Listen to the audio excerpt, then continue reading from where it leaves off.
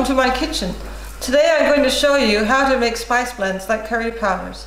So we're going to do a Mauritian style curry, general use curry powder today. Right here I've got some coriander seeds. So you put it into a pan over medium heat and stir it gently. You really want to be careful just to release the essential oils and not to burn the spices. Those of you who know me know I have an issue with using pre-bought ground spices because most of the flavor and the essential oils have evaporated already.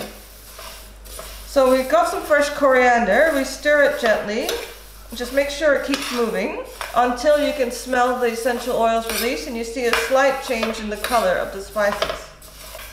It does take a few minutes, so you need to have patience, but I promise you the results are worth it. Those of you who've had my curries and asked me why it tastes different, well, here's the reason. This is the secret. It's the freshness and toasted spices. So this one is done, and it goes in a bowl. The next one I'm going to use is, a, is cumin seed. So this one is a whole cumin seed. It's the regular one, not the darker cumin seed, but it does toast more quickly. You might hear a slight popping sound. That's the sound that tells you it's almost ready. The cumin cooks really, really quickly. The essential oils have a lower smoking point, so you need to be careful. So this one is done really fast. The next one I'm going to use is black peppercorns. This one is called a Tellicherry pepper. It's not as expensive as some of the peppers, but it works really well for spice blends.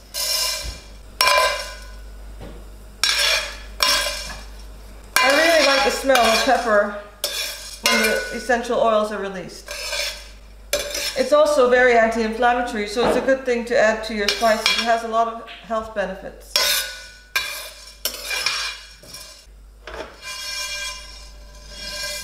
Next I've got fennel seeds. These are, they look slightly green. This is how you can distinguish them from cumin seeds and they're also slightly fatter. And it's the same process again. But this one cooks almost immediately. For this one you can actually see a little bit of color on it to tell you that it's toasted. Now I've got cardamom pods. One interesting thing with cardamom pods is that you might notice that these are green. A lot of people use the white ones. I don't like to use them because they've been bleached. I try to keep my food as chemical free as possible. These are also very quick to cook.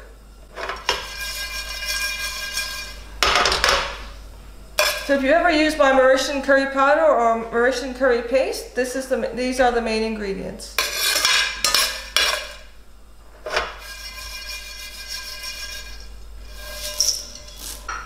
Now we have cloves.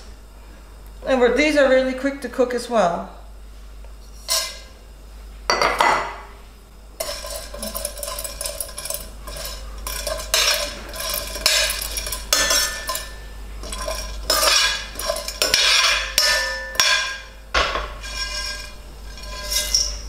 The next spice we're going to use is cinnamon.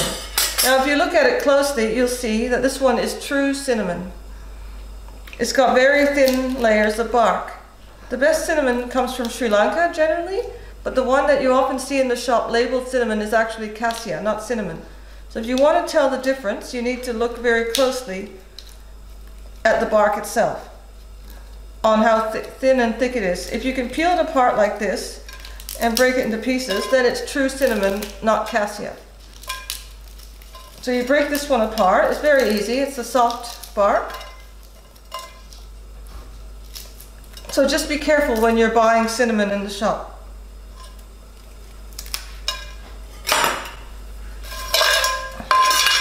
A lot of people ask me where to buy spices and I always tell them you need somewhere with a high turnover.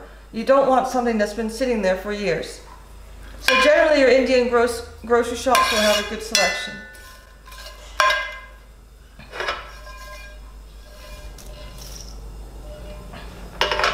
And the next ingredient is going to be some rice. This works as a thickener when you're making curries. It also helps in the, in the grinding.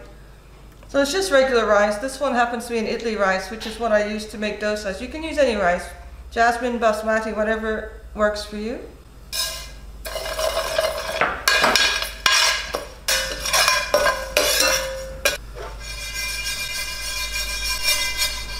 So the rice now is almost a golden color.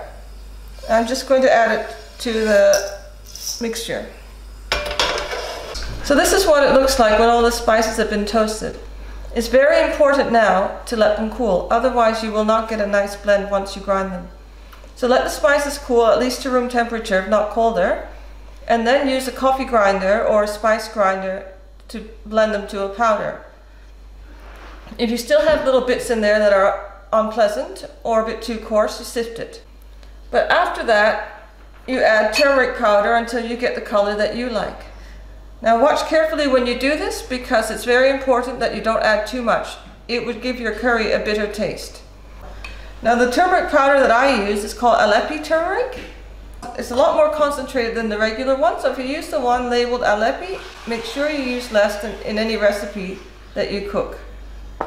So here we have the spices that are freshly ground. It's the same mix that I showed you. And I'm going to add the turmeric powder to it. So remember what I said, this is an Alleppey turmeric, so you use a lot less. So mix it and check the color. Now to me that's not yellow enough, but I have to remember that this yellow part will deepen over time.